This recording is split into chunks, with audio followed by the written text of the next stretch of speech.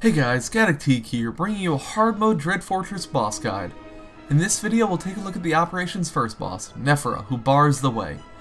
Honestly, I don't know who gave him that title, because my experience lets everyone roll right past him, but Nefra has three very simple abilities that repeat over and over. Nefra also does not have an enrage timer, so as long as you're doing the mechanics properly, your group should have no problem defeating this pushover.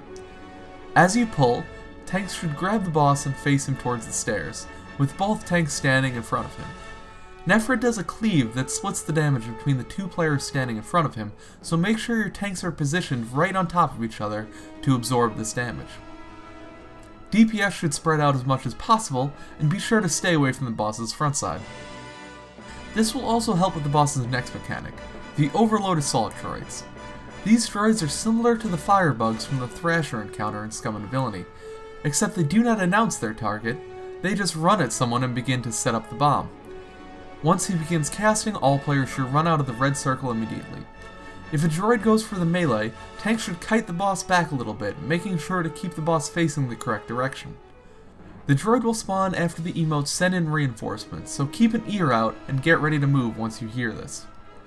Finally, the boss will do a scream animation and place a 20 second dot on every member of the raid that will tick for a little over 2000 damage a second. The key is that this is cleansable by any type of cleanse as well as any other ability that removes negative effects on yourself.